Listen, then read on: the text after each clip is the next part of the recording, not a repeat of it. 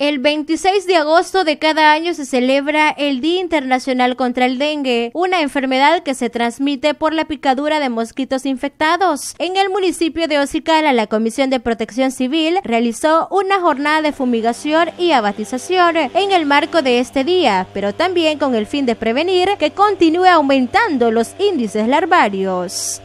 Eh, como comisión ya vamos a bien llevar esta, ya que es el Día Mundial del dengue y aquí Ocicala pues tiene alto índice de larvario. Entonces estamos bien, estamos abatizando en diferentes barrios, lo que es el barrio Calvario y barrio San Rafael, lo cual tomamos bien como comisión, pues 100 viviendas. Eh, andamos ya, como le decía, en abatización y previo a eso andamos en la fumigación. Hasta el Centro Escolar Benito Juárez también acercaron estos servicios de prevención que concentraron en el casco urbano, ya que según el inspector de saneamiento ambiental, es en el área donde más se registran índices larvarios y casos sospechosos de dengue. Debido a eso, porque vienen muchos niños, también en la encuesta que hacemos aquí también siempre salen positivos, entonces te vamos a bien también intervenirlo. ¿Usted como inspector de esta zona han verificado que hay altos índices larvarios? Así es, es que Debido a eso, en estas semanas atrás hemos hecho encuesta entomológica, entonces donde los índices larvarios presentaron del 11% en, índice de casa y índice de, depósito del 2.1.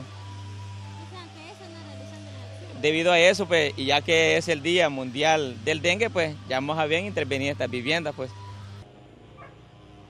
El dengue es una infección aguda causada por un virus que puede afectar a cualquier grupo de edad. Se ve extendida durante la época invernal, por lo que es necesario que las familias en sus hogares practiquen acciones de prevención como la untadita y otros, como los de ese día que fueron muy bien vistos por la población. Puede ser un llamado a las personas pues que nos apoyen, viendo que nosotros andamos como comisión municipal y como unidad de salud, también sería bueno pues que las personas nos apoyaran en hacer la, famosa untadita, como usted dice, lavar lo que son eh, los utensilios, eh, eh, pilas, cada tres días. De igual manera también recolectar los inservibles que están a la intemperie. En este periodo invernal siempre Así es, sí, es que siempre en esta época lluviosa es cuando más se incrementa. Está bueno porque mucho, mucho insectos, sí. ¿Hay bastantes zancudos en esta zona? Sí, hay bastante. ¿Con la lluvia se proliferan más? Más, más aumento hay.